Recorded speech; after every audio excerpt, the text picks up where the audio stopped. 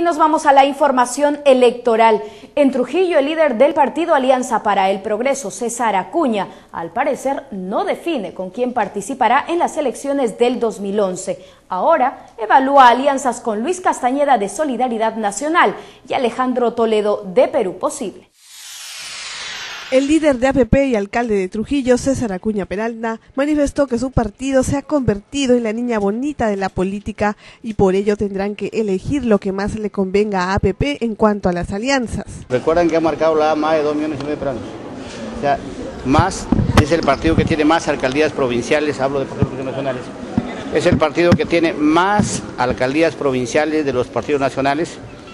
Es el segundo partido después del APRA que tiene alcaldes y yo optimistamente va a ser el único partido político nacional que tiene dos gobiernos regionales. Acuña dijo que evalúa entre Castañeda o Toledo y decidirá antes del 5 de diciembre, aunque no descartó a Pedro Pablo Kuczynski. Hay dos alternativas, bien irse con Castañeda por la experiencia de que ha demostrado un buen ser alcalde, un buen gerente o bien por Toledo que ya tiene experiencia de gobierno. El burgomaestre se refirió a la denuncia contra Solidaridad Nacional sobre firmas falsas y dijo que está mal que personas lleguen con firmas falsificadas. Lo criticable es que los que han sacado firmas o planillones no tienen la autorización del partido. Entonces yo creo que eso es algo que no se puede permitir que aprovechando un, un momento electoral algunas personas para demostrar que tienen alguna, algún respaldo, estén haciendo este tipo de cosas. ¿no? Por otro lado, Acuña felicitó la postulación de Daniel Salaberry a la vicepresidencia de la República por el Partido Aprista y dijo que es una oportunidad que debe aprovechar.